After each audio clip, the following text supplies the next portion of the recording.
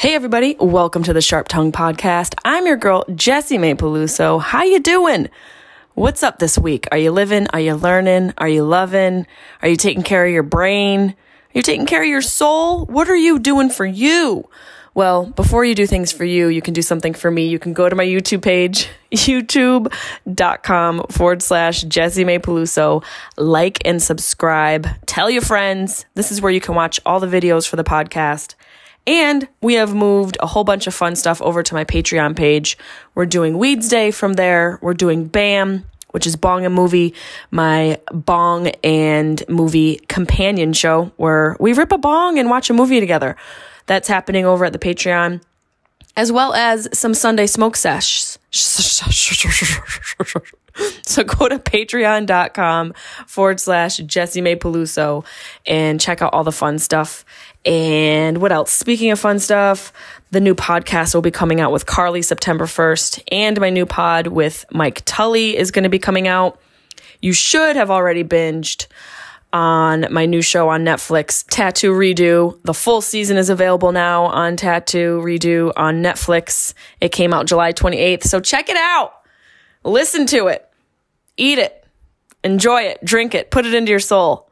Have fun with it. And thank you for everybody who's already enjoyed it. I can't get through all of your messages. I get all of your emails and phone calls and all of that. So thank you so much for your support. I really fucking appreciate it. And if you guys want to call into the podcast and have your question or comment featured on an episode, call us 513 916 0930 and leave me a voicemail, a question, if you need some advice. Those happened frequently on the pod, usually along with the Dr. Peluso episodes.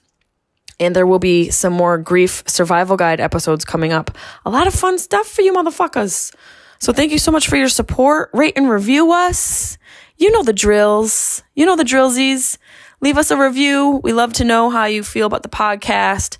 Shout out to Debbie Della Rosos and to Paul. I don't know who Paul is. Who's Paul? I said Paul. There's no Paul. I was going to say Rudy Pavich, who is my producer, but I called him Paul.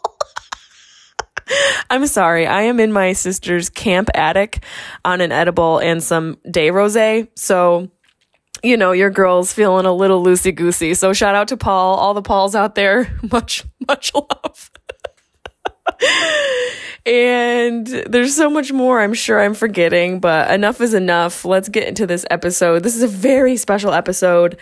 I honestly nerded out to the person that I was interviewing. So honestly, I felt so honored to be able to have this person on my podcast. Every now and then I get to interview people that are just doing things with their life that is admirable and selfless and actually invokes change in the world beyond their own world. So this next guest is a conservationist, a writer, a speaker, a filmmaker, he is the wildlife director of Jungle Keepers and is personally doing his part to preserve the Amazon and says that he's going to take me on an excursion. And so I better start doing some push ups and get used to spiders because I'm down for it. And I hope you guys are down for this episode. I think you're really going to enjoy it with Mr. Paul Rosolie. It's Rosolie, but we got to make it Italian.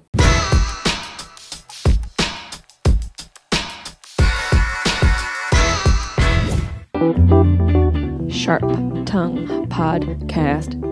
Beep, beep, beep, beep, beep. You're listening to the Sharp Tongue Podcast. I'm your host, Jessimae Peluso. It's a personal look. Well, it's not really a look because it's a podcast. I'm already fucking this up. This is kind of like a verbal comedy diary, a deep look into the crevices of my mind. It's gonna get dirty. You might cry. You probably laugh. Hopefully, you'll laugh. The whole point is for you to laugh, but you also might cry. I talk about my family. I talk about farts. farts. I talk about love, loss comedy, how hard it is to make it in this biz. I'm a fucking professional. Each week it's something different. Sometimes I have a guest host, sometimes it's gonna be a movie companion episode, sometimes I just ramble about the bullshit I dealt with the week before. You never know what you're gonna get. It's raw, uncut, and funny. It's me. I'm so pumped. I'm beyond pumped. I'm a low key nerd, nature nerd, and I have the official nature nerd on the podcast. The biggest one. Paul Rosolie, thank you so much for taking time. Thank you for having me on. Ancient trees in the Amazon to be yeah. here. It is a seer. I, I did have to take time off of that. I had to climb down out of a tree to be here today. So I believe it. I honestly, uh, truly, of all the people I've interviewed, would believe that that's what you did to be here. Is, here's a question for you. Yeah. Do you find because we're uh, there's so much I want to get into, but my first question, looking at you, do you find you're starting to resemble a man who lives in nature the more time you spend in nature? Because you look like you could just literally survive anywhere. First of all, it sculpts your body. So like if you're let's just say like you're indoors for quarantine for months on end, you get all soft and doughy and white and like your feet get soft. When I'm out in the jungle for months on end, the calluses on your feet get hard, your skin gets tough, your eyes get sharper. It literally makes you into something different. So like now I can walk on gravel, I can walk on glass. I got like rhino skin on my feet you're bionic. It's like those when pigs, domesticated pigs, get let loose, they start to grow their tusks. So uh-huh. you're essentially growing your human tusks out. I'm just letting my tusks out, man. You gotta just let your tusks out. I had another thought when I was getting ready um, to talk to you. I wondered what the longest stint you've spent in the Amazon was. Ooh, um, maybe five months. And what do you eat? Like, eh, that's not a problem. What do you eat? Do you eat I, off the land? I was just having this conversation. A friend of mine was like, uh, he saw that show Alone on Netflix, and he was like, "You got to it. It's so good. It's so um, good. it's so good. It's the first actual Survivor show that that is legitimate." And uh, he was like, "You got to go on this show." And I was like, "Dude, if they did it in the Amazon, I'd be cruising. They'd have to make it like you have to survive a year in in Beverly Hills." they I mean, they put you in the mall. uh, I would die. I would die instantly. I'd be dead in like an hour. The mall sucks my life force. It's like kryptonite. I think I've been in a mall twice in my adult life. The irony of you spending so much time in the Amazon is I don't even think that you could spend time on Amazon.com. I think that would murder you too. Like you would die. No, yeah, you become depletion. You become like one of these like rare butterfly species that like you take it out of its environment and it dies immediately. I'm like something from Avatar.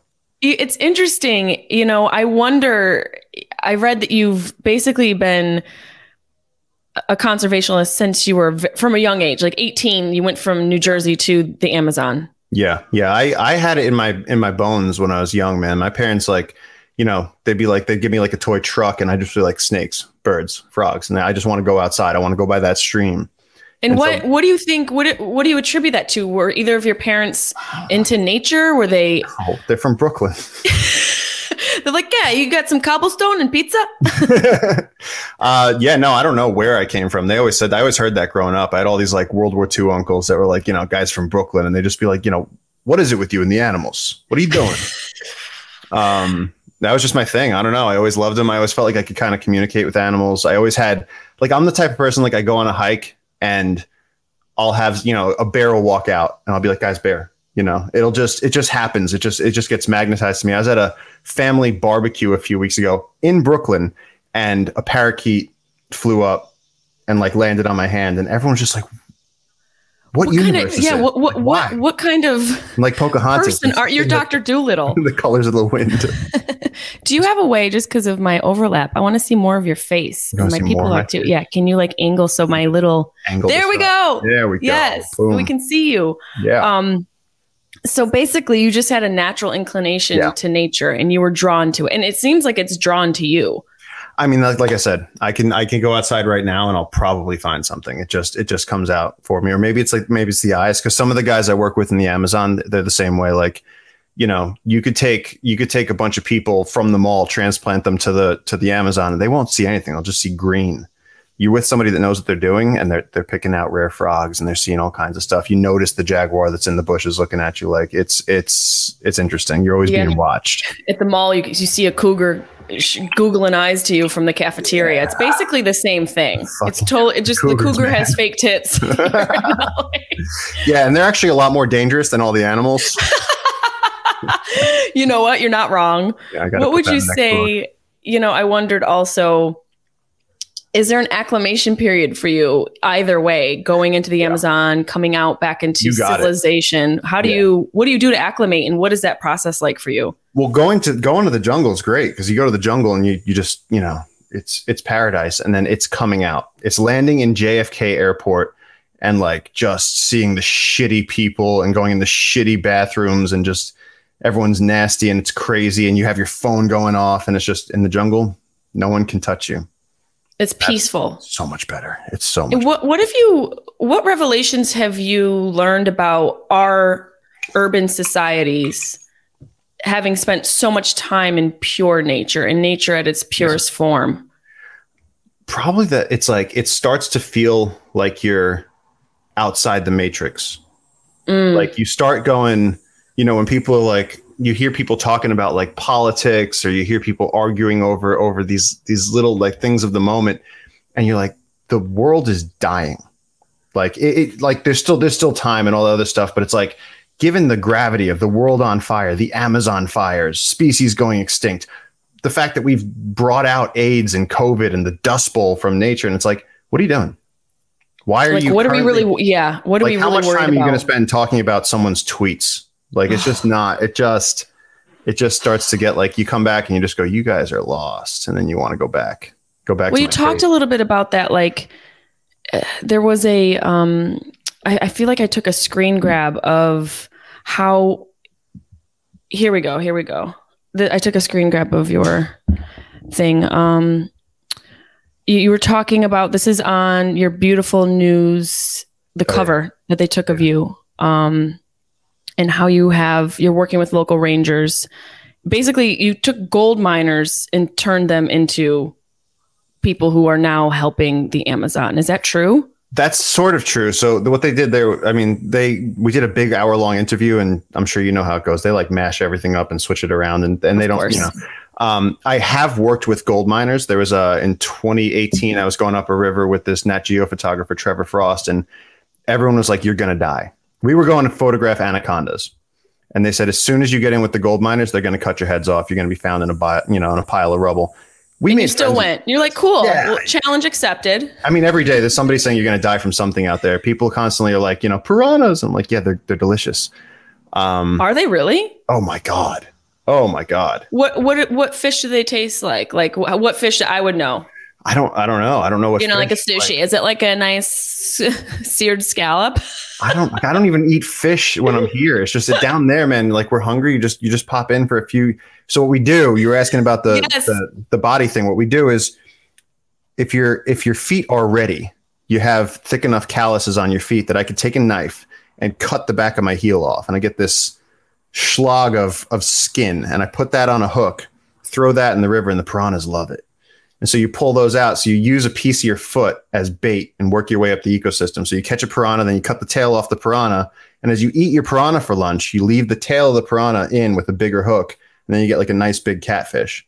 And that's how we go up the. That is not how I remember I swallowed a fly, that book. it's not. I cut a piece off of myself, fed it to a fish, and now I'm eating a bear. You caught a fish with your foot? Oh yeah, yeah, yeah. I'll send you. I'll send you the video. I did it. I did it when we were like starving on an expedition. We were all losing weight, and I was this like, "This is what I'm saying. Like, what the fuck do you eat in the Amazon? And yeah. you eat something. You're basically kind of eating your feet in a way. not not completely, but I mean, uh, yeah, it's kinda. a stretch. If they digested it, I would say that you were right. But they're not. You, you you take the hook out, and it's still got the piece of your foot. You get the next piranha with it. Fongul. That is a that's a shock. I haven't heard that in a minute. it's I grew up a fungul. Yeah, yeah I, there's also something um, you know, I obviously I stalked your page. I have stalked your page for a while, but um, when I knew that we had this confirmed, your writing is just so beautiful. Thank you. Uh, I want to read something that honestly, just the way you write, it feels like it's coming straight out of your soul and you're obviously completely connected to what you're doing to be able to write like this. You said the ancient trees breathe mist into the morning. Monkeys are waking on the branches. The river is dark and cold from the night, and the jungle keepers rangers are out there on patrol. Our mission is protect the stunning ecosystem and all the heartbeats that call it home.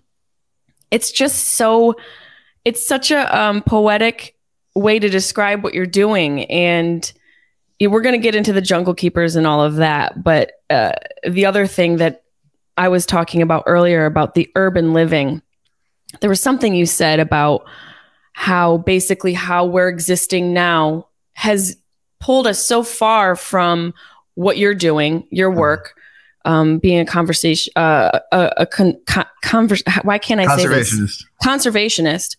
Um, that the way we live in this urban society, we have a sort of disassociation with the realities of what's going on with the Amazon. Yeah. And my question is, how detrimental is it right now? Because I've seen documentaries and I agree. Me living in this society, it hurts my heart. I'm definitely a person much like you. You know, I have dogs and I've always felt uh, this kinship to animals.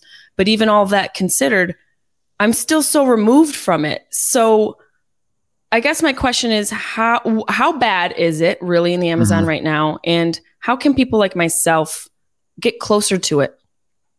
Well, um, first of all, thank you so much because as a writer, that's the best thing you can hear. That's that that that's like wonderful when someone when someone's hit by something you wrote. That must be. I mean, I, I don't do stand up, but like when you're out slaying a crowd and they're just like screaming, that that must be like such a rush for you. And you just gave me that. Like I, I Oh, love that's awesome. I'm glad it, I, I Uh, connected with your writing. Thank you. Um, yeah, no, it's uh, the thing is we are so disconnected, and I feel like again, like it's it's almost like you want to just slap people because we literally get nutrient, like we get vitamin D from the sun. We're we're, we're we're we're solar creatures.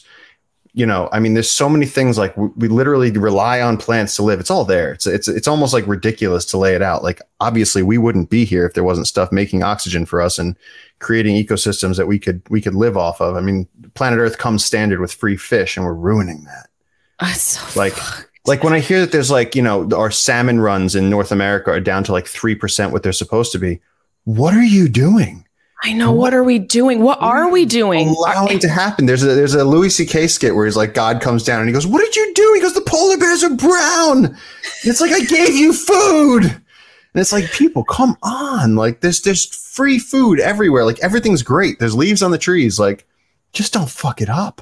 We've been fucking it up for so long. And I feel like, you know, I definitely am guilty of it too. You know, it's, it's that sort of thing like out of sight, out of mind. But the crazy thing about the Amazon specifically is how much it regulates the entire world. Yep. and it's base it's our lungs it's the lungs of the earth Mhm. and at what capacity is it is it breathing right now like i, I know it's been Choking um, right now. endangered Yeah. but it's choking right now great Yeah, I mean, first of all, though, the other thing is like you said, like that that feeling of like guilt or something, and I I hate that because I know when I do study abroads or when I when I give talks to students, like a lot of kids will come up to me and tell me that they almost almost saying like I don't want to live because I feel like I'm killing the earth, and it's like that is such a horrible um, way to grow up. I mean, it's like growing up Yeah. in a Cormac McCarthy novel. Like it's just like it's ugly. Um, so like I, I hate that feeling, but it's like we're not, you know, like the fact that you were born into a city and you live there doesn't mean that you're killing the earth. It's every person, and like I always say, like people are always like, "What's your opinion on this? What's your opinion on that?" I'm like, look, I care about one thing. I'm trying to make sure that the trees don't cut get cut down, and I'm protecting the heartbeats on this one river. And it's like you can't take on everything. Like my friend was like, I'm a vegan and I also drive an electric car and I also don't travel and I do this and I only use like sustainable breast milk from like, you know, underprivileged dolphins. And I'm like, look, is your Just- is your friend leonardo dicaprio yeah, uh, yeah. He it sounds me, like something he- leonardo He dicaprio called me the other day and he was like, I don't even have time to make movies anymore because I'm too busy, you know. too busy growing my charging my electric car no he he okay quick side note quick side note Yeah. being the the human that you are doing the amazing work that you do do you mm. vibe with what leo's trying to do and what he's been trying to do within yeah, hollywood no, I think it's awesome. I mean, he basically won the actor game and then said, I'm going to do more of of the environmental work and he's he's proved it you know he's he's he's done serious work he doesn't even publicize a lot of the work he does no and his um, whole ig page is just raising environmental. awareness Yep. it's just And- environmentalism he was a story I love. He went to meet, I think it was he went to meet Putin and like his either his plane had to go down or it busted an engine and they like had to like crash land, but then he took another flight and like Putin was like, This, this is real man. He cares about the tigers, the pussy tigers.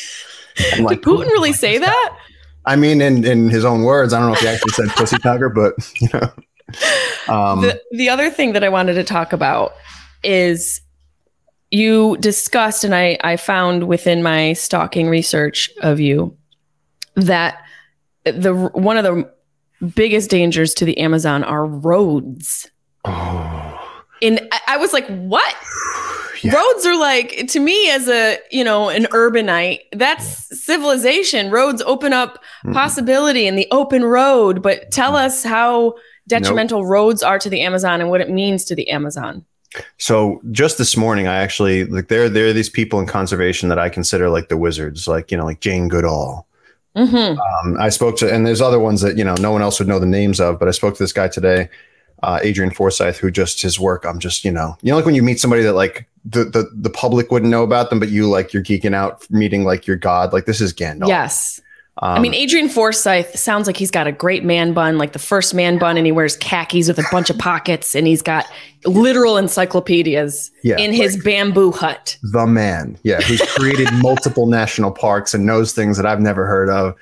And we were talking about roads this morning, and I was saying like, you know, we've had two new roads this this past in the past two months. We've had two new roads, and every time it's devastating. You just get guys with a bulldozer that go into. I'm talking like pristine Eden, like the most beautiful thing on earth, with thousand year old trees and tapestries of vines and spider monkeys, undocumented species, anacondas. Oh my God. And they just bulldoze through it, make a road, and then what happens is everyone that wants to make a farm just goes in through that road.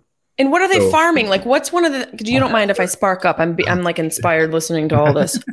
Um, what are they? What's the most common farmed harvested item in the Amazon? The trees. No, I mean the trees they cut for for timber that comes to the U.S. and China. The the thing is, so like the Amazon fires a few years ago, like that was people are going, you know, why, you know, the Amazon's supposed to burn. And I'm like, no, that's California dipshit. Um, the Amazon, And is not- a- it's a it's a rainforest. rainforest. It's not supposed to burn. People It's supposed like, to one- create oxygen thick air. exactly. It's so thick that like, oh my god, when you breathe down there, it's just like it feels it feels good. You can just like take in a, a breath. People like it's hot. I'm like, dude, I'm so alive. You just queef Um, out magical dust. Not you, but me. If I went there, it, my queefs would probably cure a lot of diseases. saying I can't queef? Oh, well, it's a challenge. challenge accepted. um, no, but dude, I can't queef. That's the title of the podcast. There's our title. We got it. Clip it. The uh, but no ro- roads. Literally, like if there's like a textbook about rainforest, rainforest 101 is is roads are the worst. It's like I didn't know that. But there's another thing. Yeah, because if you have a rainforest, these giant trees, no one's going through them. And so what I was talking about this morning with this guy was. Um, he actually worked with an oil company to protect a forest. They wanted to extract oil. And so he said, look, as long as you don't build a road, you can get in there by helicopter, clear, you know, an acre, whatever, put your drill down, get the oil out, and then get it out by chopper. And they did that and they never created a road. And so they actually ended up helping each other. So And there's it's like- actual mutually beneficial ways to get resources without completely destroying Oh, yeah. the Amazon. And Yeah. Is it is it just is it just a resource issue for these companies that in laziness and maybe cost why they're going about the more destructive route? Yeah. No, I mean, this, I always tell people, I was like, I have the dumbest job in the world. I'm trying to convince people to not cut down a tree. All you got to do is nothing. Go home, asshole. There, you literally, we won't have this problem. Everybody could just like go surfing and do other normal things. Like my job is to put myself out of business. And like, so with, with the Amazon, it's literally just that there's a lot of poor unemployed people that need to farm to live and they want more land. There's a lot of companies that want to go down there and deforest. There's idiots like us that want to put hardwood floors on our on our in our houses, and so we want ironwood, and so we're cutting down a tree that has two thousand different species living on it. A millennium these tree trees that's a thousand years old. I was just going to say, am I a hippie to say these trees are so intelligent and they're so, they're responsible for like creating families within the forest Oh yeah, and they No, I- connect and they, and they have lived through so much. I mean, I, I- I took a trip with my mom to the uh, Sequoia National Park yeah, and I got that really, that started to like Yeah. get me a little bit more interested in what was going on outside of my urban living. And those trees, like, they feel wise. I know it sounds like woo woo to say, but Oh, something that's been standing that long and mhm. has sustained through so many different types of weather patterns and different eras and all of that it must have some sort of natural wisdom not like we know as human beings but obviously it's a living it's a living creature per se mm-hmm. that's on Earth. No, I mean the, you got to think like some of those ironwood trees. I think like when the Spanish arrived to South America, that thing was a sapling. When the U.S. was being formed, that thing was a tree. It's these things are so old, and there's all these all these other species living on them, and it's like you literally you want to just go like hug these trees, and so like that's, I'm always. You do. You want to. You want to. You want to hug these trees. I mean, that's why I'm always climbing on them. I'm always crawling through them. There was one tree that fell over, and it, it, formed a cave, and there was like there's snakes and lizards and bats and jaguars were going in there. You could tell um, by the footprints on the bottom of the cave. But how would you uh, say, like in the Amazon? Um, I guess it would be hard to know for sure, but because of the nature of the rainforest, do these trees harbor the most amount of diverse ecosystems and mm-hmm. in in creatures because it sounds like you just describing all of these things that are living around the tree it sounds like a lot of different types of creatures yeah no so the west amazon the reason i started working there is because it's the most biodiverse place on earth in any period so even like from the dinosaurs until now all of life on earth the Andes Amazon, you have the Andes, which is a mega biodiverse biome, and then you have the Andes, the Amazon, which is a mega biodiverse biome, and where they meet is right where I am. So there's more wow. life there than anywhere else. And you have a clash Every, of kind of everything. a little bit of a variation of biodiversities between the Andes and mm-hmm. the Amazon, and they come together to create their own like intermingled. Right you said something else that really um, struck my soul chord, and it, it has to do with the documentary Dark Green. Is it out? It's not out yet, and I don't know even know where it's coming out, but we're getting close. So can I quote? Can I say one of the quotes you say in the opening? Okay, um, you come in as a voiceover and you say, "For me, the forest is the temple." Where it's possible to turn. Oh, wait, no, wait, wait, nope, nope, nope. That's something different. Hold on, it's on my second page. Hold on. Hold on. Please hold. Hold. Wait, this is what happens when you smoke some weed. wait. Hold on. Wait for it. I wrote it someplace. Oh, here we go. Found it. Um, the locals say there are still places out there where the rivers run clean and the trees are the kings. Trees are kings. And life is everywhere. And that's where I need to go.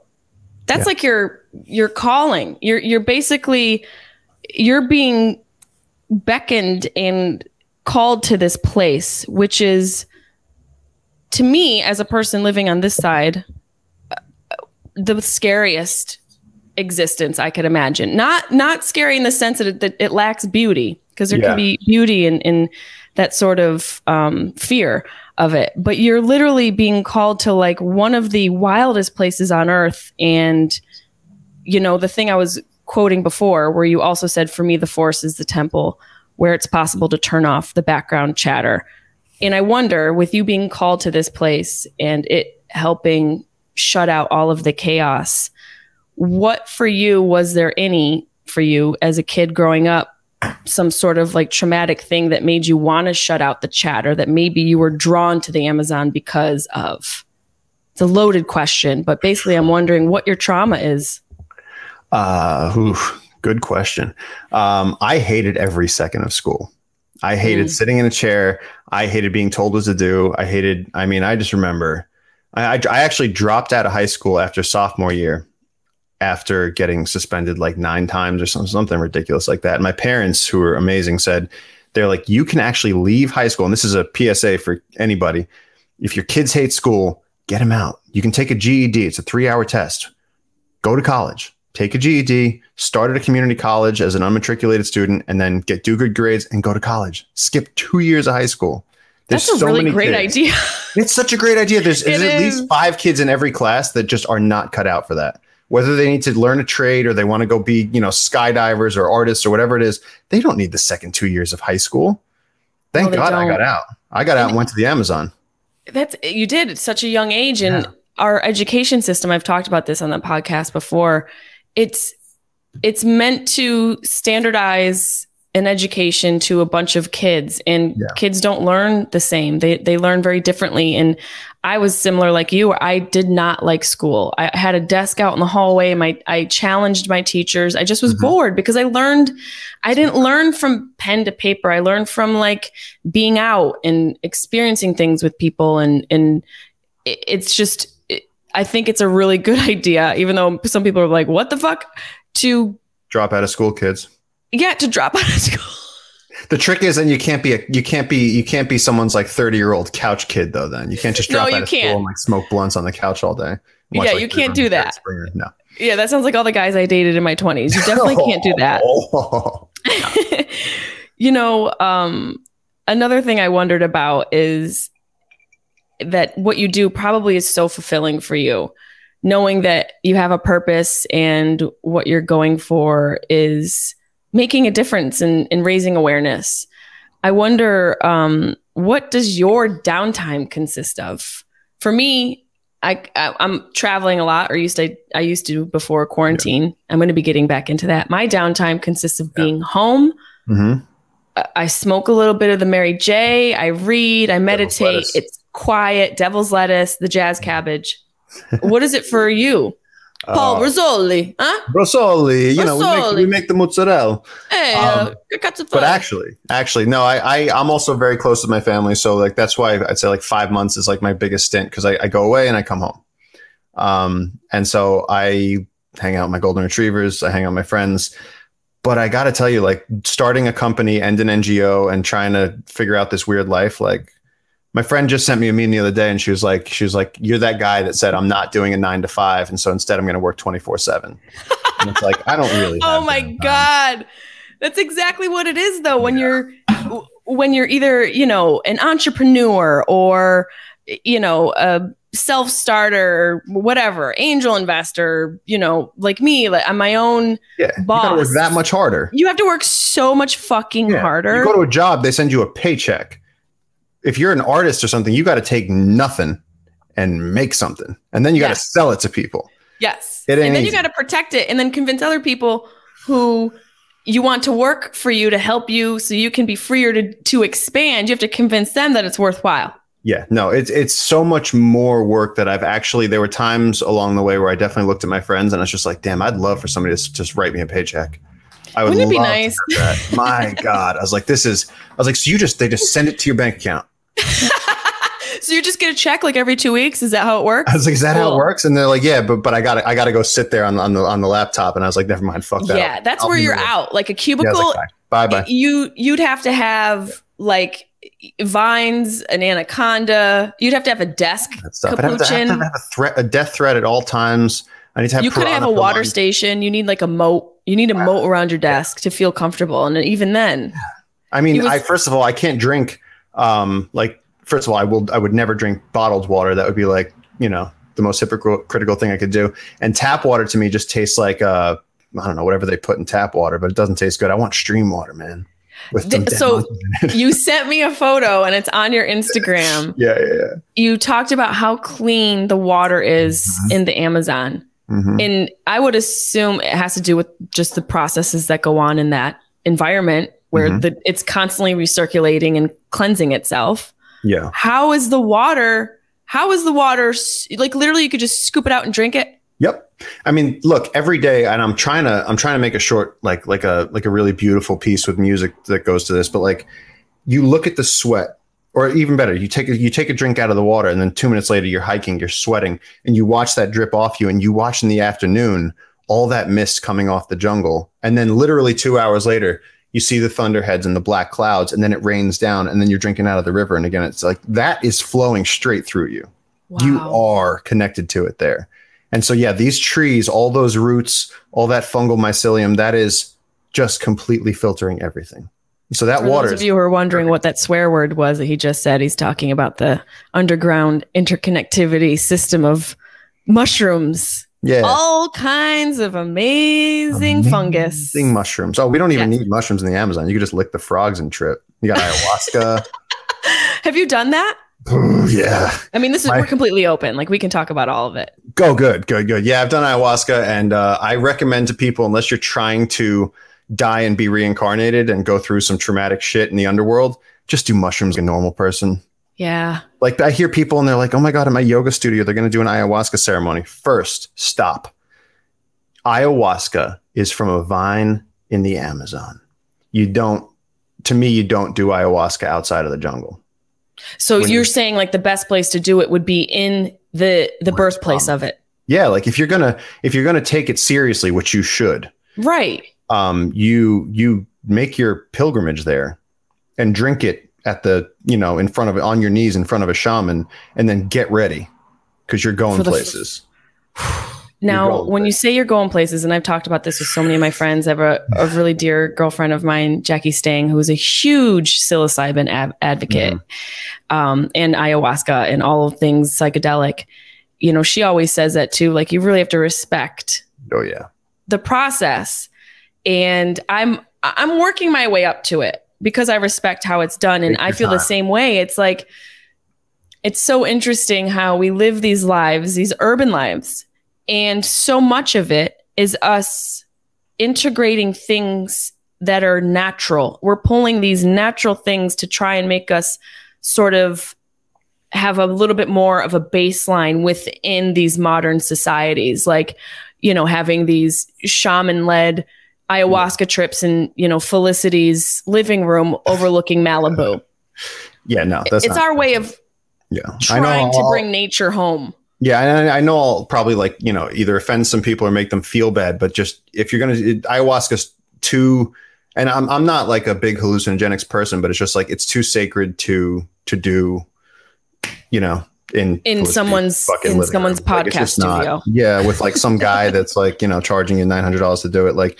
when we do it down there, the guy that brewed it was this old old guy that like you know his stories is the stories he saw. You know who got eaten by an anaconda and the time he got shot at by uncontacted tribes and you know um, one of the guys his father has a had cut his arm open and put the nerve from the neck of a stingray of a of an electric eel in his arm. And so he was infused with the power of the jungle. And this guy was powerful and strong and living alone until he was 85 and then one day he died smiling at a barbecue with his family. Like he was healthy as shit until the day he died.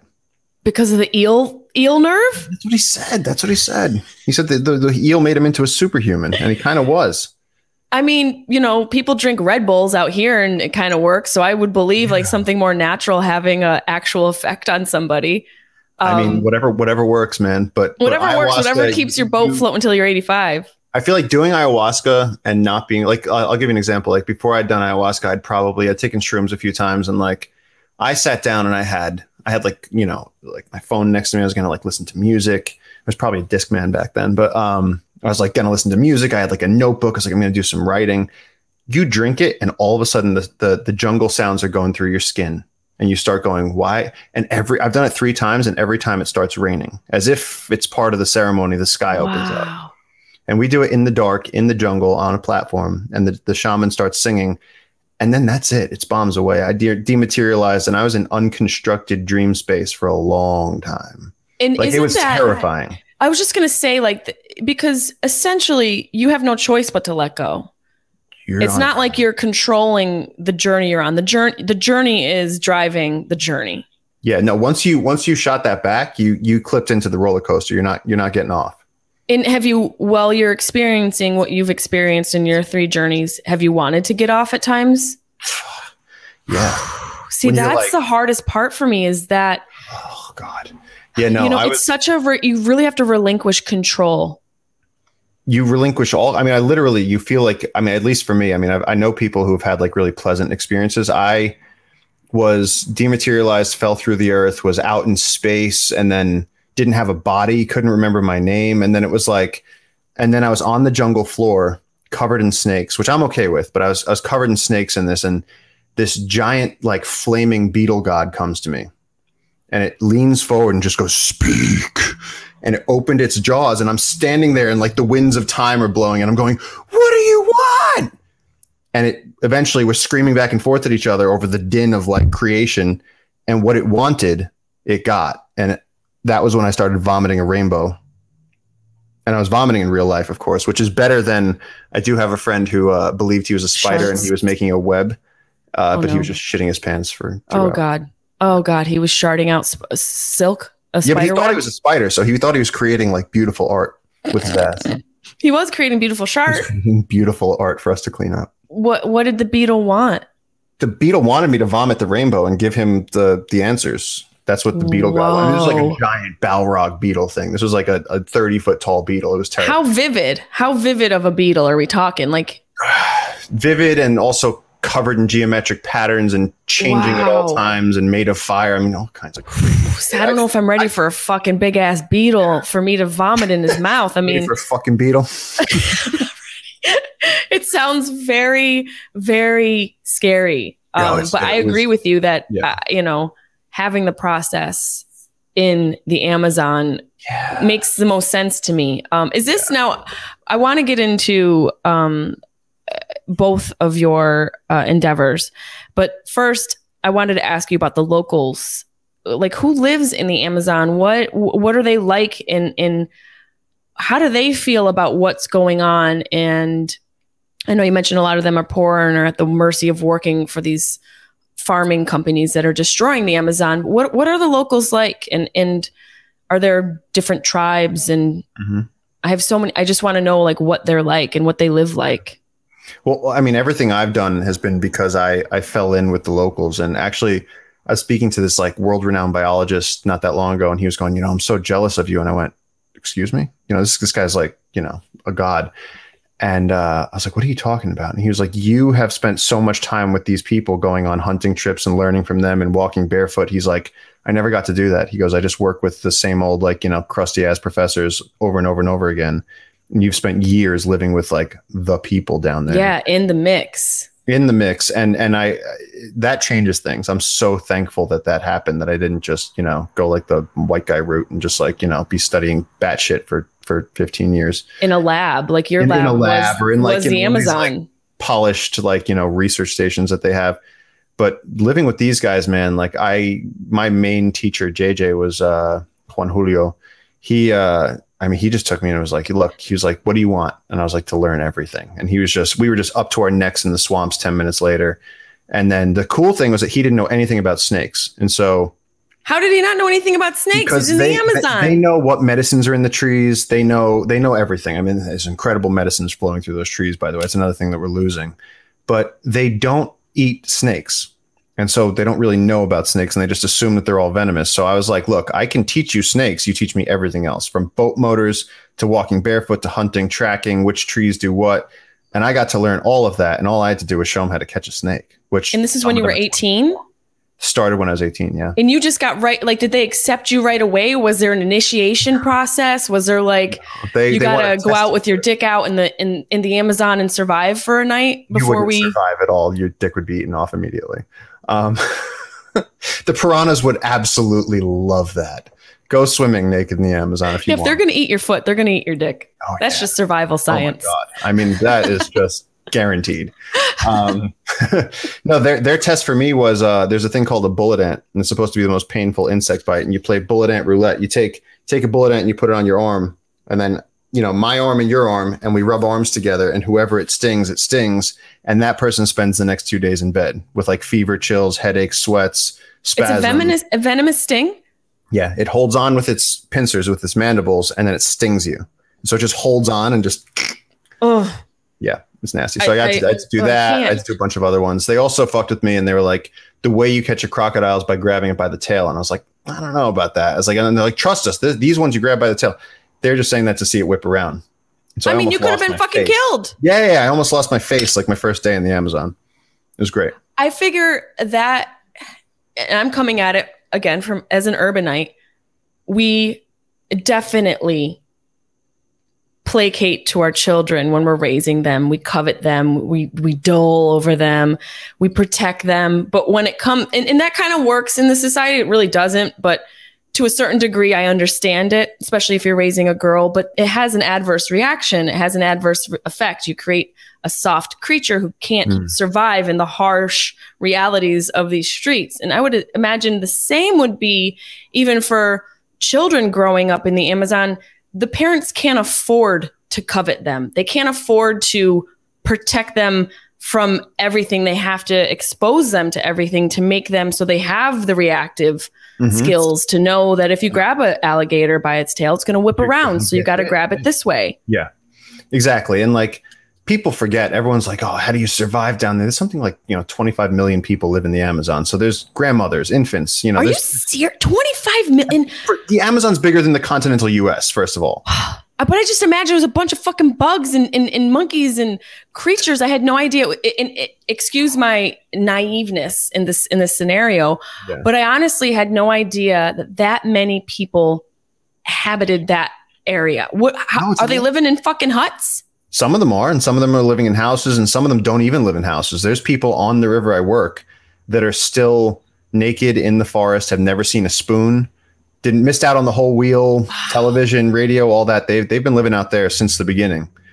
They're and the is old there a is there a tenderness to your interaction is there uh, like what are the cultural norms and have you come up against any sort of um, situation where you approached a native person and offended them or did something that they thought was you know that they didn't really understand because of where you're coming from That's a great question. I don't I don't think I've ever offended anybody uh, in the Amazon. I've definitely done it in other countries, like you know, like in, in India, you're not supposed to um, you know, you're not supposed to touch food with your left hand, like something like that would you Right. know, no one if you you grab a piece of bread with your left hand, everyone's like, we're not touching the loaf of bread after that. Like you're done. right In the Amazon, it's such a wild west outback, like, you know, when I go on hunting trips with these guys, like they they shot a, a wild boar, a peccary, and we had the head on the boat, and it's like we they we smoked it over the fire, and then you know you're ten hours into the day, and it's raining, and you're freezing cold, and then the sun comes out and incinerates you, and we're just passing around this boar's head. And I would like grab it and like suck out an eyeball, and somebody else would like oh bite a my piece off the god And we just like hand it around, and each person would just take a rip off of it. And it's like those are the kind of guys you're with, and those guys are not. They don't get offended easily. They don't. I was care. just gonna say maybe I'll come on an excursion, but whole I don't want to suck out an eyeball. Oh, I don't want to suck out an eyeball. You've never sucked out an eyeball. No, You got. You got I- live, man. I the I'm so intrigued. Especially let's. I want to talk about the expeditions Yeah. that you do, um, and also Jungle Keepers. Um, I'm so intrigued by a place like the Amazon because it represents so many of my fears, and and I think maybe one of the reasons why I'm so intrigued about nature and and uh, what you do is because I've lived in this concrete jungle my whole life, um, and I, I have a genuine curiosity about it. But um, tell tell us a little bit about Jungle Keepers, and then I want to get into the expeditions because I really want to fucking go on one so bad. Um, all right. So Jungle Keepers was so first of all, this whole, you know, so I went down there at 18 and started going around with the local guys. I it was like a scene, you know, like in Jurassic Park when they see the dinosaurs for the first time and they play the music and you're just like, oh my God. Burr, burr, burr, burr, He's like a brachiosaurus and she grabs his head and turns him or he grabs her head. Yeah. And you're just freaking out. That was me seeing the jungle for the first time. I was like, I'm home. It's real. I, you know, David Attenborough was right. This shit is amazing. Um, so I knew, I knew 100%. I was like, the rest of my life is is locked. Whatever happens, I'm doing this, whatever this is. And then when you see it start to get destroyed, because at first it was like, let's go on adventures, let's find big snakes. I want to do cool shit. I'm 18. Yeah, what old. year was this? You d- This 18 is years old. 2006. So it's it's there's still some sustained destruction, just not to the level of where we're at today, obviously.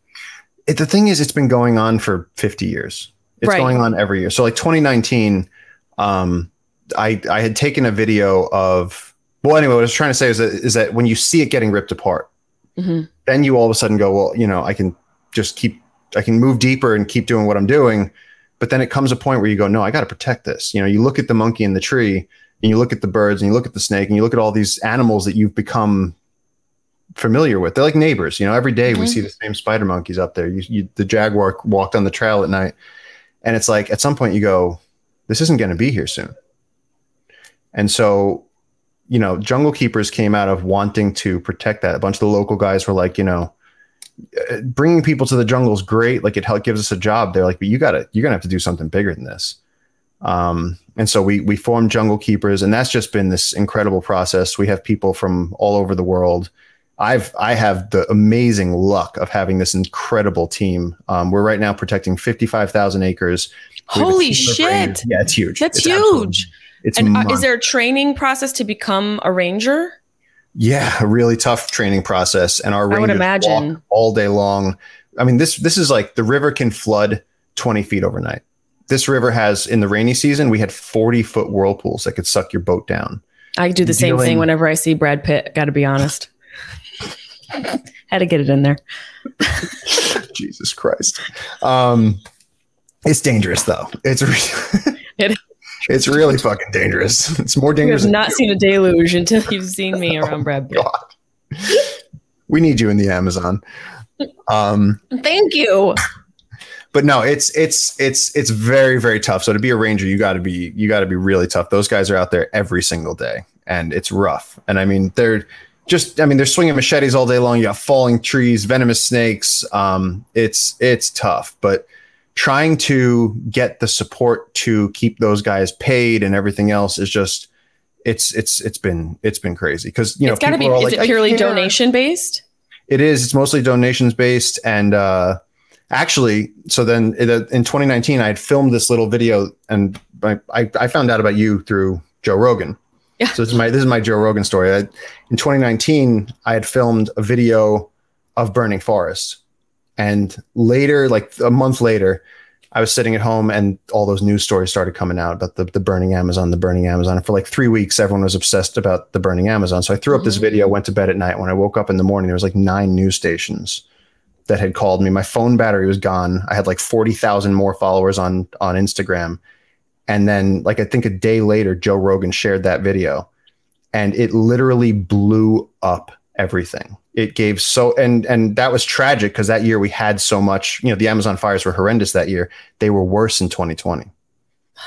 And it was just crazy because that year it was it was great because we had everyone's attention for a second and, And you had Jungle Keepers was in, was established. yeah yeah yeah, And yeah. how long has it been established? How many years? About five years I think And was that? Terrible did you that. see? I hope you saw a big bump in donations. Well, that that was the thing. It was like That's so that- amazing. for that one moment, and and that it got catapulted like that. And everyone, you know, everyone always knocks social media. I was like, let me let me tell you, like the fact in situations like that, it helps. And I mean, look at like what's going on with Afghanistan now. It's like we can see it. You don't have to worry about like the news showing you. You can see it. People are posting it, and that's I think very very powerful about the time we live in. It's like we can show them. I mean, these local people over the Amazon are just showing you like, look, it's burning. It's burning. You can see it burning. And so like um that's that's huge. But that year got us a lot of support. That got a lot of donations. And that allows us to pay these guys, these local guys who would be some of them used to be working as loggers. And we're literally just like, we'll pay you better to just walk around and protect the forest. And they're like, oh, okay. how many employees do you have for Jungle Keepers? Probably about only like probably under 30 people. Oh my god! Still In, in in your 55,000. perfect world, how how many would you like to have? Oh God, I don't know. I mean, That depends probably a limit many. How many rangers? How many rangers to patrol how much land? And then, of course, you have to have like scientists and law enforcement, and you need like lawyers and back end people and graphic design and all this other stuff. But it's it's a huge animal. But it's it's It's seeing possible. how much people. Yeah, that's the thing. That's the thing. We're doing stuff that when I was growing up, it was always like you know you watch a documentary and they're like you know the rainforest is beautiful, and then Atner would be like, but it's all going to die soon. It will just be a barren wasteland, and you should all go kill yourselves before bed tonight, children. And it's like, And fuck that. On to like the new season of Stranger Things. Exactly. Then you flip the channel and you're like, oh, cool, Seinfeld's on. Like, you Well, know, whatever. It's it, we got a little taste of it with like quarantine and COVID. How um you know fallible the existence is and how Yeah. sensitive and Yeah. Compromised we can become and it it kind of sucks that it has to come to your front door sometimes for people to really start to care. But that's why i like doing podcasts like this and just bringing awareness to places that they can put some of their energy and time and focus are so important.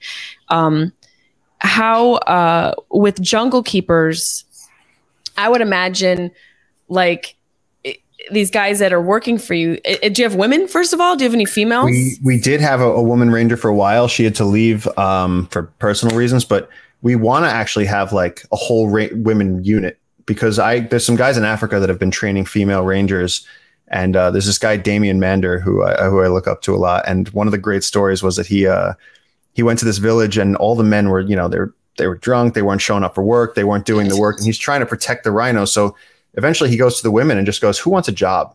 And all these women were like, I'll take a job. So he like trained them. And this one woman who had had a this one woman who'd had an abusive husband, uh, she got herself like combat trained And when training was over, she went home, kicked her husband's ass, took the kid, brought it to her mother's, and then showed up for work to protect rhinos the next day. And I was just like, yes. Women, let me tell I love men. I, I, I'm, I, I have love for everybody except for assholes. But Yeah. women, and I've been talking about this because I feel like I am one, the amount of resilience they have, I think just because the very nature of a woman is to create life. I think the very nature of a woman is to be resilient. Yeah. But for her to believe that and be it are two different things. Sure. So I think having a full female ranger group, imagine how clean the fucking Amazon would be. We'd oh clean Oh and God. organize it. First of all, first of all, in the wilderness, women, there's no reason that women aren't, you know what I mean? Like the, what, what do men have above women? It's not, it's not a UFC Well, fight. They- brute they- strength, first of all. Brute strength, sure, but You're up there climbing trees. I saw your traps and your lats. a lot of tree climbing, a lot, a lot of anaconda lifts. Um, you, put, you put a crocodile on you, lift it up a bunch of times. Um, There's but no, that we- factor. Yeah, there's that factor, but I'm I'm saying girls though have a toughness that I think that guys don't have, and they also have, I think more they're more level headed. Interesting. Look at look at some of the women out there. I mean, look at like someone like Jane Goodall. She went to Africa when she she did what I did at at, at in a total different time. yeah. As a little blonde girl, she went to Africa and started studying these savage animals that could have ripped her face off, That's right. In like the 50s And and, 60s. redefined the way we thought of humans. And, and brought this spent- like really uh, compassionate and empathetic approach Yeah.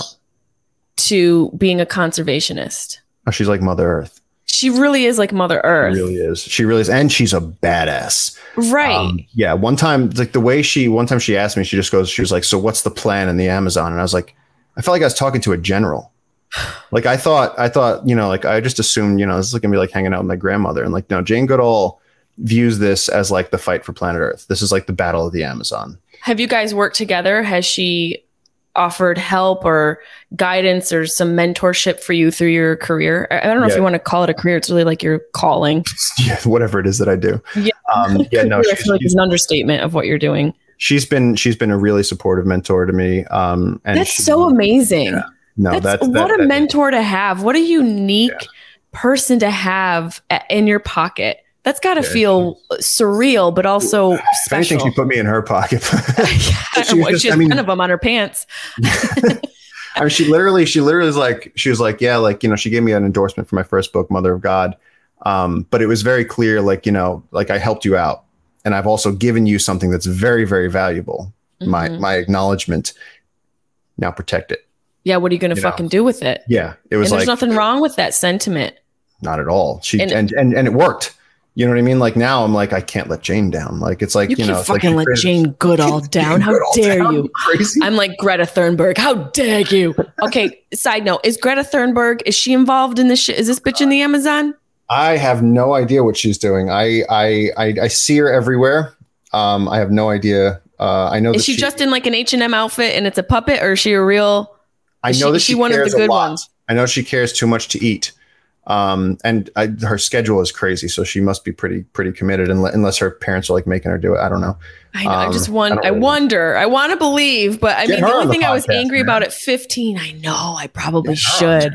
Get her. But I she feel like- probably does everything she can. I mean, she she would she'd probably love to come on and you know be That's angry. a really good idea because I just want to, you know, obviously with everything that goes on in social media and the news, it's really hard to dig through and know what's going on. Like with you showing a video of, of the burning Amazon, that's a little bit more tangible. You Yeah. climbing trees and educating about these different creatures, it's more tangible. With the scenario with Greta Thunberg and things uh, uh, akin to that, it can feel like opposed situation to get people riled up and go in one direction. You know, like I want to know if she's in the like- Amazon getting bloody and and bent, I think she's more, of a, she's more of a protester. I don't know. I, I know that I know that it started with that she like wouldn't eat, um, and then I, I just I don't know how she got to to where she is right now. But I think she's the poster child for those kids that feel so guilty just being alive that she was like, I'm not eating anymore. That's a good you know? point. And there's So- probably some benefit to it. Um, one of the things I wonder, and I want to ask you, is are there any other um, groups like Jungle Keepers in for the Amazon? Are there any other advocates? Is there anybody else that are there's so many and that's the other thing like there's i know people all over the world who are doing such amazing work and i mean from from jane goodall level down to like some people that just have a beautiful piece of backyard and you know they're trying to protect their local community wildlife by planting you know hummingbird friendly flowers like there are people doing so many projects now that i actually on one side i see the burning amazon and i go the world is ending and on the other side i go but so many people are doing projects right now that like it might get better you know, like in in hundred years ago, like humpback whales were on the brink of extinction. Now they're back to almost pre-whaling numbers. Bald really? eagles, yeah, yeah, yeah. Uh, humpback whales are fine. That's they went down, I think, to like twenty thousand, and like I think the like globally, and right now the I think their population's over hundred thousand right now. They might even be one hundred and twenty thousand. Wow. No, they're back. Like that's, that's good news. There's a lot of good news out there. In certain areas, tigers are coming back. Bald eagles in the 70s, bald eagles were almost extinct. They're on the endangered species list. Yeah upstate New York, man, there's bald eagles everywhere. There are. They're back.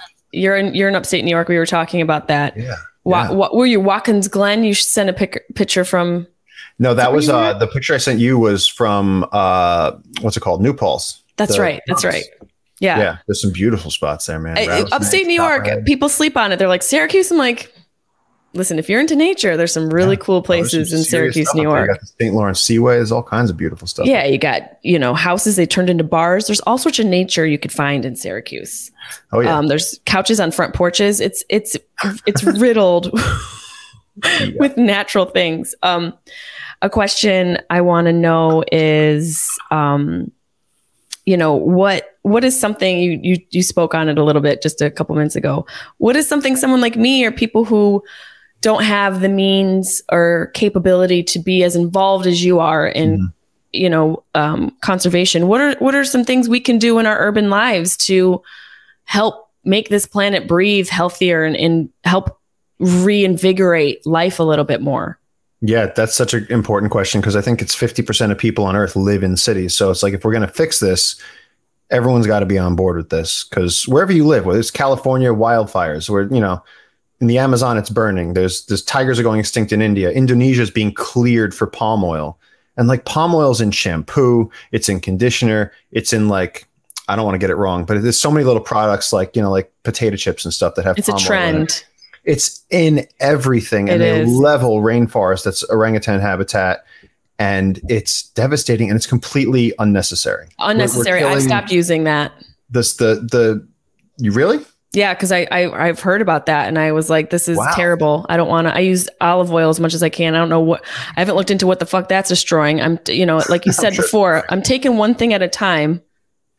There's your key. that's that's being, where I was going with that. I was gonna say pick one. I tell this to everybody because instead of trying to do everything, pick one thing that you think you can affect, and that might again that might be I know someone that plants butterfly butterfly friendly flowers in their backyard to help the monarchs migrate, to help hummingbirds migrate. And so that's just your own backyard. I'm gonna do that. I'm I'm I, I just yeah. bought this hummingbird feeder and a little hook to hang it up. My mother, you know, she was a little bit of a conscientious gardener. She yes. had a beautiful garden and took consideration into what creatures were around, like birds and butterflies important. and all of that. Yeah and and feeding hummingbirds. But that's a really good idea. You know, I I don't know why I didn't even think about that. that's why it's important to have conversations like this. Like something as simple as just planting flowers that attract the creatures. Plant native flowers that the that the wildlife likes and invite it into your house. Don't let your cat go outside and kill it all. Um, the, the palm oil thing, it's like these companies, they're they're destroying same thing like the Amazon, the thousand year old trees, orangutans, tigers, uh, Sumatran rhinos, all this stuff is going if these companies, if we just said, look, it's just, it's just not possible. You can't use palm oil anymore. Or we said, we're not buying it anymore. Yeah. I mean, why, overnight. why the fuck don't, it, that's the one thing that's the hardest part overnight. about this. Change is it, knowing what, seeing the destruction of the result of uh, what we're using product wise is like the only thing that I feel like will make people change. And it's, it's such a hard, it's such a hard needle to move because of what I mentioned before. It's got to be at your fucking doorstep. Yeah, and I mean nobody nobody does anything until you know they're like, oh, I became a cancer advocate after I got cancer, and it's like it really has to kick you in the face before before for anybody before you before you realize. I mean, I had to I didn't really believe all the stuff I saw. You know, I had to go to the Amazon before I believed it. And you know, how many people have you heard about where, you know, their their their kid has alopecia or something, and then they become an advocate for alopecia? It's like you, it, when it hits close to home, all of a sudden you go, "Holy shit!" You know, That's exact. I mean, I became I an Alzheimer advocate after my dad had Alzheimer's. I didn't even wasn't something I was like thinking about before. probably never thought about it before. Yeah, and But then you know, I love that saying. It takes you know, creation comes from destruction, and Yeah. so it, maybe reaching a rock bottom individually can create something more on a societal whole. Like you saying, more people. Everyone has to care, Mhm. but you know, listening to conversations like this, even just starting with the flowers, might make you go, "What start else?" with the flowers. Um, no, and I mean, I think there's also something poetic about this moment because we've never had a global problem like this. You know, there's like World War mm-hmm. One, World War Two, the plague. Like, what what are the biggest events you can think of? This is the first time that we have something that's affecting everybody, Right. and it's the same problem. It's can are you are we smart enough to actually be intelligent? Can we actually say, okay, we need this stuff, and if we could just keep this these systems going, keep the salmon, keep the trees, keep the oceans with with fish, we all can go do whatever we want to do. This place is awesome. It And really so- is. It really, it really is cool. Like there's waves to surf. You can go skydiving. You can do whatever you want. This Um, world, this place is really amazing. So incredible, and we get to experience it. And it's like just do it without killing it, you know. And so, in right now, it's like we have the internet, we have global awareness. People are more than ever trying to help. So maybe this is like you know, bald eagles, 1970s America. We had the Ohio River on fire. Bald eagles are going extinct, and then like we cleaned it up, and now the rivers are less polluted. There's humpbacks coming back to New York City. We have more bald eagles, so it's like we've seen this before. We can clean it up, and it can happen on a planetary level. If we halted, let's just say that Biden got on a plane and went to Brazil and said, "Look, we're going to hook you guys up with the best trade incentives you've ever heard, and you're going to bring Amazon deforestation to zero. You're all going to make money doing it too." They would that would overnight that that situation would be fixed. You I mean, it sounds like you you've got. It it might be a, a hard hard switch for you, but I feel like you could get involved in politics a little bit. And, and no. we need a No, liaison. We need a political liaison for you. We really That's. Leo's job, man. He's doing it. He's working towards it. I promise you. He's always like in a suit at the UN. I guarantee you, in like three, four years, he's going to be running for president. But I I, think he's I, I would vote be the environmental honestly if. Trump if Trump could make it. Why not have Leo up in there and, and try and save our planet a little bit? Um, before we go, first tell people where they can donate and bring some awareness to Jungle Keepers. Yeah, I mean, um, our Instagram, Jungle Keepers, uh, junglekeepers.org. It's people can donate, people can do mon- monthly donations. You can come visit us in the field, and like the donations, when when you when you donate to a giant organization, a lot of times it's going towards their marketing, their staff, whatever else. We're very transparent with everything that we do. People's donations go directly to our rangers, directly to our boats. Um, simple things like boots, forks. There's a guy who needs a leg. There's a guy. a yeah. guy who needs a leg. Yo, there is Did my a son. Yes. Yeah, we need a leg. We need a leg. Can you can we, can we help with the leg? Can I mention the leg? Did he not Okay, get a leg yet? So, well, we're halfway there. We we uh, we Like to cut off his leg in November. Um, so that's why, Why? I, I took a leg and I give a leg. You understand? Now he had a Was tree fell on his back. fly? No, thank God. Oh my God. Um, no, a tree fell on his back when he was 16 because he was a logger, and he has since become a conservationist. But now he's like 50 years old, and that leg has continued to give him, him problems. In November, it went gangrene. He was going to die, so we did an emergency fundraiser. We flew him to Lima, got his leg amputated, and so right now he's sitting there, and uh, I'm actually I'll probably post it today.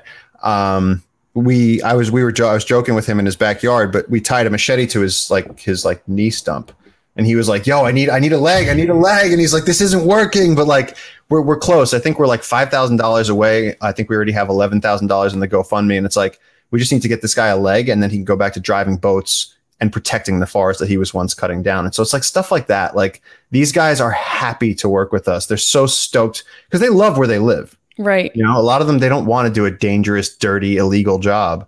Um, so that's what we're trying to do is just give these people dignity, educate people about the forest, and protect all those little heartbeats so we can keep eating piranhas. Oh my god! I just when you were talking about his leg and the machete, it made me think of Rose McGowan in Planet Terror. I think she she lost like she got bit by a zombie and they had to cut her leg off and then they attached like an Uzi to her leg and then she was like shooting all the zombies with the Uzi. Well, this guy's swinging his leg with a machete on. it. He was cutting his grass the other day. It's hysterical. Oh my god! Well, I personally would like to make a thousand dollar donation, so I will be going to your. What? Yes, I want to. I want to help, and I can't. I, I'm in my kitchen. You know, I can't really do Uh-huh. much. I'm in my house. I'm in this Oh. area where I can't get to to the Amazon, so I will be making a donation on there for his Thank leg, and hopefully other people Thank listening, you. guys can go. It's right on his Instagram page, and the guy is adorable. The, ma- so the I'm- I'm, going to just post the machete video today. Um, he's he's the greatest guy, and I swear to God, if you come to the Amazon, um, we'll get him, and I will drive you up the river with him and his new prosthetic leg. I'll make you a piranha sandwich, and at night you can do ayahuasca okay. Listen, when you're ready. honestly, Paul. Come on, Don't you fuck with me. I'm not fucking at all, yo. Calm down. I'm ready. You just have to tell me how I need to prepare. Yeah, yeah. I have a whole I'll gear list. get I have a whole workout routine. petty. You it. yeah, yeah. I'll ask him to put the machete back on his leg. I'll cut your nails for you. Oh my god. Is this gonna? A How can these? that. You how can a these tree with help me? Those. You're gonna need help. Amazon. You're gonna need help. I'm gonna give you an extra gear list. Like I don't know what your workout is, but you're gonna have to do a workout. You're gonna have to get all kinds of gear. I Oh, you got some- guns, okay? I got some guns. I got some. All right, Tra- all right. I got these things. I don't know what these things are. I got some of those. Those are the traps. Yeah, I can gotta- lift you my body weight. lats. Yeah, you can lift your body weight. How many pull-ups can you do? Of like at least three and a half. That's good. That's, not, bad. That's not That is bad, not right? bad. So No. we'll just. I, I'm serious. Like I really. This is something. When I saw that you do excursions, Yeah. can we talk about that real quick? yeah, please, please, please. It's it's shut down right now because of COVID, but Mandatow. How do you say it? Tamandua. Tamandua. Tamandua. um, Tamandua, yeah. So, so aside, you know, Jungle Keepers is the conservation organization, but with all the local guys, with my friends, we just started hosting people, and like these guys are boat drivers, our cooks, our guides, our everything. We just we host people from all over the world. We do study abroad projects. We've had Nat Geo photographers. We've had Discovery Channel. We had uh, a group of Finnish special forces that came to the jungle, and they were just like kick our ass. You know, we just wow. Has anyone ever died? 11 uh, we've only lost two people over the years. Um, no, I'm kidding. I'm kidding. No, I don't. I was like, don't oh, lose. No, no, no, no. Not one But- casualty. Not one casualty. And I've had everything from 11 year old kids come.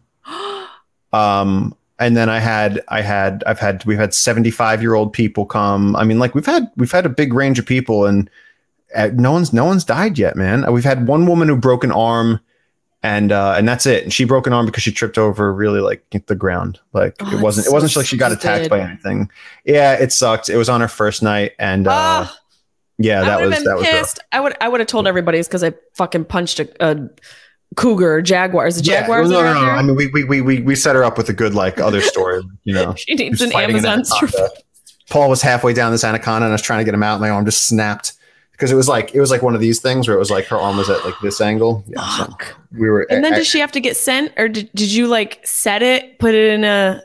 Did you guys have to like fix her there? Do you have CPR training and all of that? no, you have to have medical training to work like out there where we work because we're way off the grid. But we had to evac her in the middle of the night down the river Wow. with like a guy on the front with a flashlight, get her to town where the people at the hospital were like, hey, we really don't actually know how to set an arm. So it was a whole, yeah, that was a whole ordeal. But Note the funny self, thing is, don't break your arm in the Amazon. don't break your arm in the Amazon. A lot of people are like, can I bring a sat phone? And I'm like, and call who?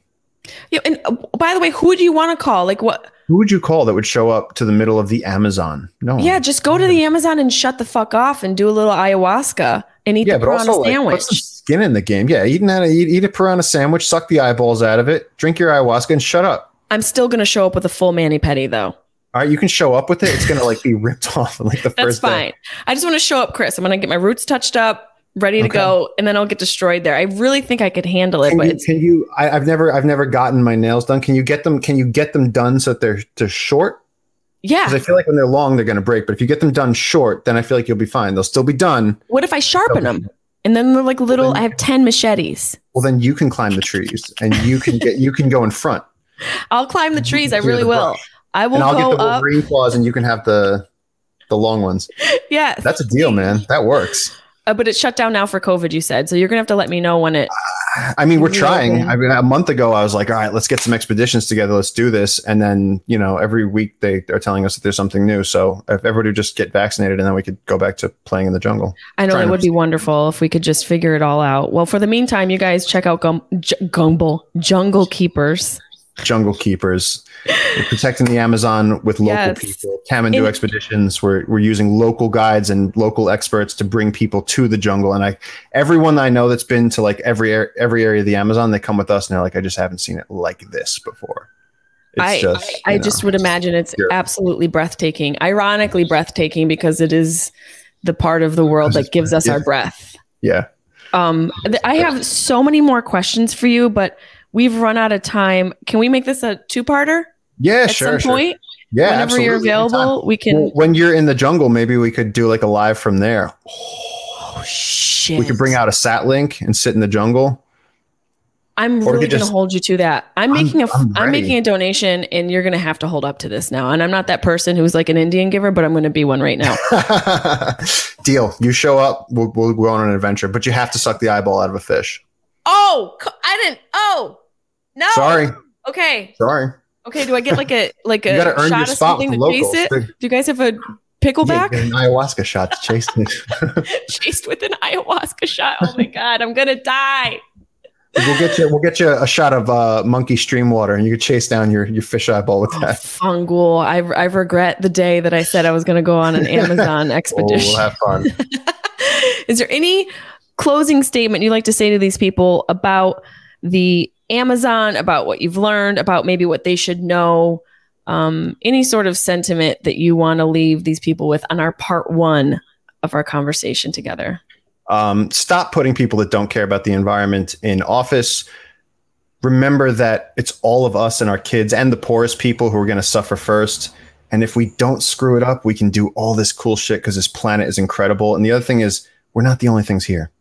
The animals depend on us. And like you said, like, you know, you have a connection to animals. So many of us feel like we have a connection to animals. And whether it's tigers or elephants or spider monkeys or jaguars, these animals are getting bulldozed, man. Like we we can save them. It's not too late. Get over your environmental depression. It's time to do stuff, and everybody can. Whether it's planting flowers in the backyard or starting an organization, uh, you know, everybody can do this. This is definitely possible. So Well, this was such a enlightening, wonderful conversation. I appreciate you taking time because I know you're busy and you're in your sort of downtime right now. So thank you so much for scheduling me in.